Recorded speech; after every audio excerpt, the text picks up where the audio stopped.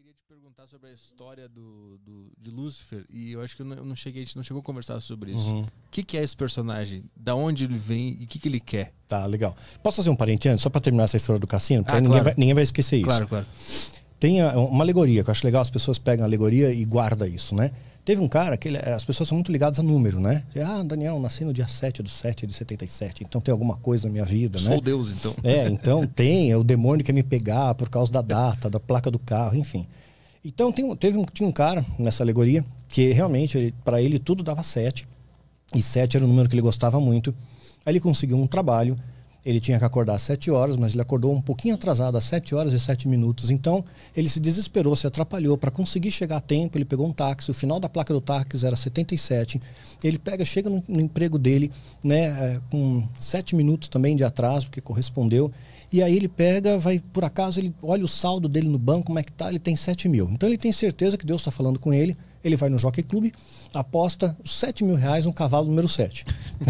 aí que acontece? O cavalo chega em sétimo lugar. Então, quer dizer, toda essa bitolação, né? Não adianta nada, né? Então, quer dizer, se pautar por número, você tá lascado, né?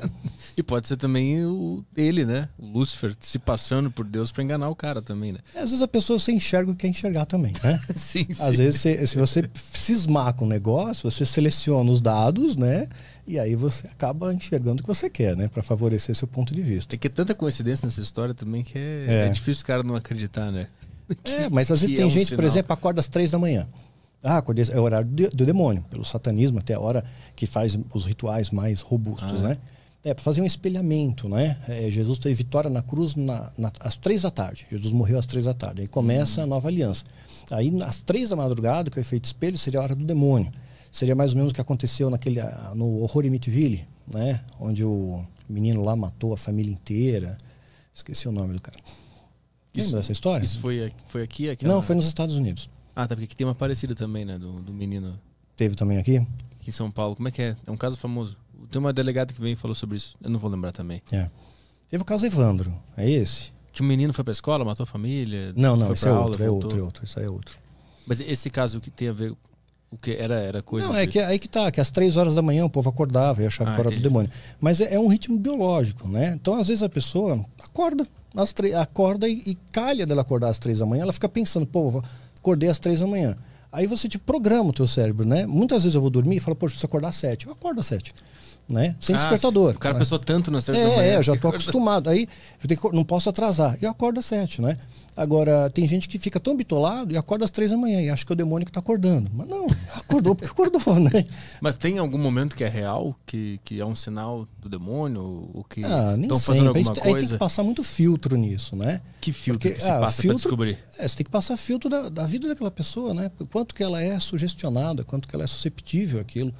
Porque senão a pessoa vai achar demônio em qualquer lugar. É, mas como é que eu sei que isso é verdade? Como é que eu sei que é pra valer, que é Bom, verdade? se você é um cristão e você tem o Espírito Santo, é, Deus ele coloca aquilo para você de maneira muito clara, né? Que você está sob algum, alguma coisa. Se Deus está mostrando algo, tem que ter um propósito. Já começa por aí. Então não- não vai tipo te acordar às três da manhã para quê? Né? Para quê? Então, sei lá, é para você orar um pouco, né? Para você ler alguma coisa que vai te edificar. Agora acordei, pô, o demônio me acordou. E daí? Te acordou e daí volta a dormir. Né? então, muito bem. Agora o demônio. É, Lúcifer, né? Ou Lucifer, né? Como chamam no satanismo, é, é dito em Ezequiel é, 28, é dito o seguinte, que ele era um querubim ungido, então ele, a- ele era um querubim, patente angelical dele, querubim, então tem demônios, né? Com desmembramentos de patentes e os anjos também. Anjo, arcanjo, querubim, serafim, e o Lúcifer era um querubim. Aí a Bíblia diz que ele era um querubim ungido. Ungido significa santificado, separado. Então ele era separado para um propósito, ele tinha uma missão ali, que era um dos guardiões da glória de Deus. E diz que ele era perfeito em formosura, cheio de sabedoria, coloca ele como muito inteligente, bonito. Ele ganhou nove pedras de Deus. Aí começa, Deus dá- dá- é, desmembra nove pedras que ele ganhou. E ele pega esse número nove para ele. Puxa, eu ganhei nove pedras de Deus. Então o número nove para o satanismo é muito importante. Nem tudo que dá nove também é do demônio, né? Mas número nove é importante. Aí, logo depois disso, entra a iniquidade no coração dele, ele quer ser como Deus. Lá em Isaías, ele subirei acima das mais altas nuvens e serei semelhante ao Altíssimo. Então, você é semelhante a Deus. Eu quero ser como Deus. Ao querer ser como Deus, Deus o afasta da sua presença. Mas ele é um ser muito inteligente. Ele enganou a terça parte dos anjos. Isso é anjo pra caramba. Que não é pautado na população terrestre. Não, ele enganou 7 bilhões e meio de pessoas, né? Ou um terço dessa população. Estamos falando de uma dimensão espiritual. A Terra é uma poeira cósmica em relação ao universo. Nós somos nada aqui. É um pontinho. Então, bilhões, trilhões de anjos ali, ele conseguiu enganar. Então, o poder de persuasão dele é muito grande, muito forte. Aí é dito que ele foi lançado para a Terra com a terça parte. Aí o que acontece? Ele está numa dimensão, é, no paraíso, que é uma dimensão, no meu entender, ainda espiritual, onde Deus faz Adão e Eva, faz a sua imagem e semelhança. E aí tinha uma árvore do conhecimento bem e do mal que o homem não podia tocar, não podia comer. E o diabo estava ali. Quer dizer, ele não tinha ainda o poder de zanzar por todo, todo o planeta. E o poder dele geográfico se limitava ao perímetro dessa árvore, né? do conhecimento do bem e do mal. Mas por que, que ele estava ali? Então, ele foi, ele foi mandado por Deus ali. Né? E ah, aí, porque... ah, tá. ele estava no paraíso, porque havia uma única regra no paraíso.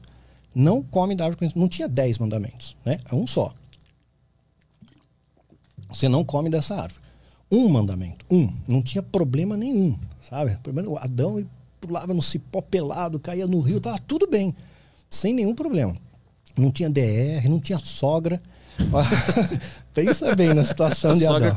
Começou depois da, maçã. Depois de Adão, depois. Né? Então, e eles fizeram, sogro de alguém é, também. É, então, quer dizer, não tinha problema, cara. Aí, de repente, Deus colocou, não vai nessa árvore. O demônio estava lá, até mesmo para testar a fidelidade, porque você tem um livre-arbítrio. Mas Deus sabia que ali estava o demônio? Sabia, claro. Deus permitiu que ele ficasse ali. Entendi. É o livre-arbítrio humano, a sua escolha. Deus deu a direção, não mexe. Um mandamento, não eram dez, um. Aí Eva chega perto. Né? Eu imagino que essa sedução levou um tempo, não foi assim. Aí Eva, come a maçã. E a maçã é só uma alegoria, né? Na verdade, na, na Idade Média, as missas eram celebradas em latim e a palavra malum e malus é muito parecida no latim. Uma quer dizer é, macieira e outra quer dizer mal. Então a maçã ficou associada a essa, essa simbologia do mal. Ah. Então vamos colocar aqui que seja maçã. Ele vai, ó, come a maçã, é bonita, é cheirosa, é legal. E Eva foi resistindo. Você vê que ele tentou Eva, ele não tentou Adão. Ele tentou na mulher. Tem algum significado isso? É, eu acho que ele tentou pegar assim o ponto fraco. A mulher é mais semântica, ela é, é, o homem é mais racional, até hoje, né? E a mulher é mais emocional. Então ele talvez tenha tentado pegar a Eva pela emoção dela, né? Pela emoção. E talvez, uma, uma hipótese que ele pode ter usado, ele pegou e falou: olha, como a maçã, como a... ela não queria. Aí ele falou: ah, vou te contar um segredo. Quando você fala para uma mulher, vou te contar um segredo, o que, que acontece? Todos os sentidos da mulher estão antenados em você naquele momento. Ou vou fazer uma é, surpresa, um é, dos dois. Acabou. Ela não tem mais espaço, tempo, mais nada. Só existe você naquele momento para contar o segredo. E Lúcifer deve ter dito para a mulher: olha, vou te contar uma coisa: maçã emagrece. Ela comeu o pé inteiro né, para emagrecer. Então, comeu, tá, tentou, ela passa para Adão, os dois pecaram. Aí o que acontece? A partir daí, Lúcifer ele entra, entra na nossa dimensão de tempo, digamos assim. E essa dimensão paraíso ainda era uma esfera espiritual. Ah, os judeus acreditam que existem sete céus. Né? Então Lúcifer foi expulso da presença de Deus, não estava mais no, no, no, mesmo patamar de céu que estava Deus, e foi expulsou para a terra. Então ele estava aqui na terra, mas de uma dimensão ainda não terrena. Hum. Por exemplo, tua sombra está aqui, né? E você. Então vocês dois estão, me, estão no mesmo espaço, mas em dimensões diferentes. Hum. A sombra não tem três dimensões. Né? E você tem. Então as dimensões estão aqui, mas uh, em, no mesmo espaço, mas em dimensões diferentes, patamares diferentes. Tá claro? Tem. Uhum, uhum. Aí o que acontece? Ah, então eles estão nessa dimensão paraíso que seria o equivalente ao terceiro céu, que Paulo fala, estive no terceiro céu e estive no paraíso.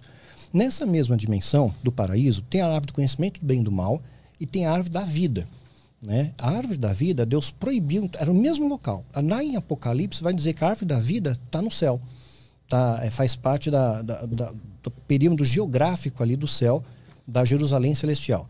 Então ele pega a, essa árvore da vida, Deus coloca querubins para tomar conta do caminho, para ninguém chegar perto nela colocou querubim, mesma patente hierárquica que o próprio Satanás. Você pega um outro exemplo bíblico, você vê como é que existe esse respeito hierárquico.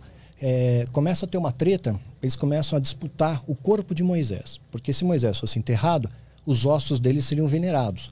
Né? Ele era um, assim, um profeta muito importante, liber, libertou os caras do Egito e tal. Né? Aí que acontece? Lúcifer ele vai, vai querer pegar o corpo de Moisés, é descrito na Epístola de Judas. E vem um arcanjo, né? Miguel vai lá e, e faz uma treta com o diabo. Só que o arcanjo não, ele não tem autoridade para repreender um querubim. Então ele fala que o Senhor te repreenda.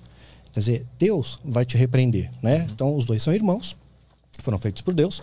Então assim, o pai te repreende, né? Eu não posso você, você tem hierarquicamente acima de mim.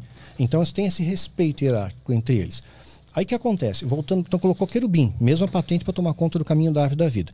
Quando o homem é afastado, imagina que o demônio, a Bíblia diz que ele é como o leão. Não é o leão, mas é como o leão. Ele precisava de uma legalidade do homem para sair daquele perímetro, da, daquela prisão temporária dele.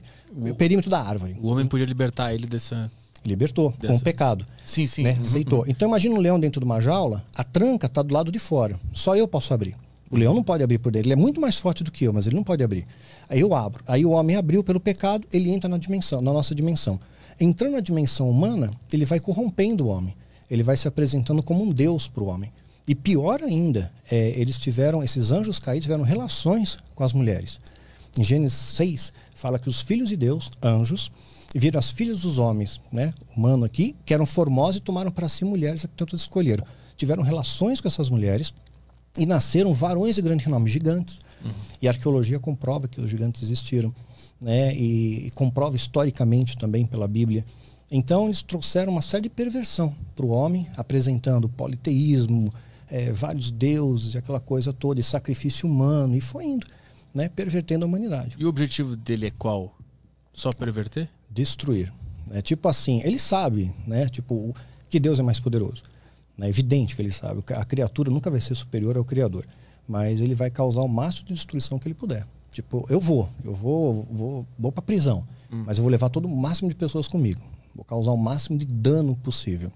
Se nessa, nessa história a Eva não tivesse comido a maçã, como é que a humanidade estaria agora? Eu acho que estaríamos bem, de boa.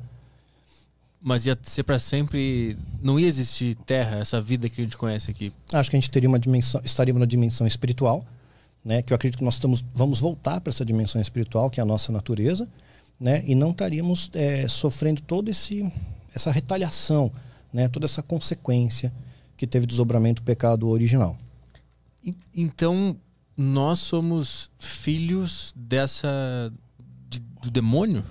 É, nós somos que... filhos de um pecado, ah. né? De um pecado, de, de, um, de uma falha humana, de pecado. Esse pecado deu a legalidade para o demônio para entrar na nossa vida, na nossa esfera, na nossa dimensão e causar destruição em nosso meio. Mas assim, eu, eu, tu, como indivíduos, a gente existiria da mesma forma nesse outro lugar? Eu creio que sim, sim.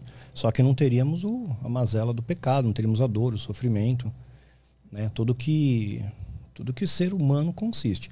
Agora, uma coisa que eu pondero, quando perguntam para mim, ah, tem vida em outro planeta? Eu acho evidente que tem. Né? Porque hum. o universo é gigante. Né? Tudo que a gente enxerga é 4% só. A gente só enxerga 4%. O universo visível para nós é 4%. Esses 4% a gente não entende nada. Uhum. Ninguém sabe o que é matéria escura ainda direito. Não tem uma, uma, uma explicação para tudo isso. Tu, tu acredita que, que, que exista e essas vidas em outros planetas, elas de alguma forma elas participam desse jogo todo de dimensões e do que está escrito na Bíblia?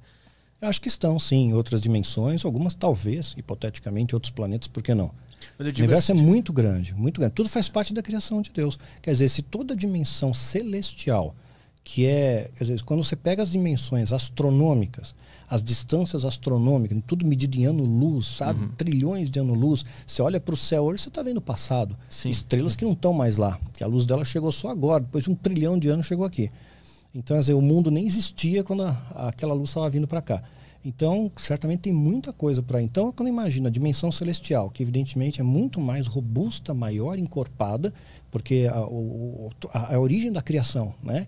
Então, gigantesco, inimaginável. Aí não vai ter somente a população do nosso planetinha Terra lá no céu, né? Sim, mas vai, gente vai formar uma, uma aldeia ali, né? Essa população que está em outro planeta, ela também participa desse negócio de, de, de, ser fruto do pecado. Tipo, você tem um planeta em algum lugar agora sim. com pessoas também. Eles, eles, qual é o papel deles nessa, nessa guerra espiritual é, inteira? Com a, com a gente, não. Eu não vejo uma, um conflito conosco, com nosso planeta Terra Porque foi definido que Satanás e seus anjos foram lançados para a Terra, para cá. Ah, uhum. Especificamente para cá. Uhum. Por inferência, talvez. Cachorro lindo. Por inferência, talvez. Uh, eles não tenham errado, não tenham tido pecado. Né? E talvez desfrutem de uma, de uma vida muito mais abundante do que a nossa. Hum. Tanto na capacidade intelectual, tudo, porque a gente perdeu nossa capacidade intelectual.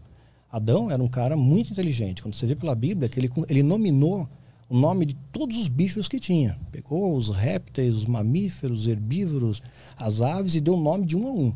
Quer dizer, a, a capacidade de memória dele era 100%. Hoje a gente usa 10%.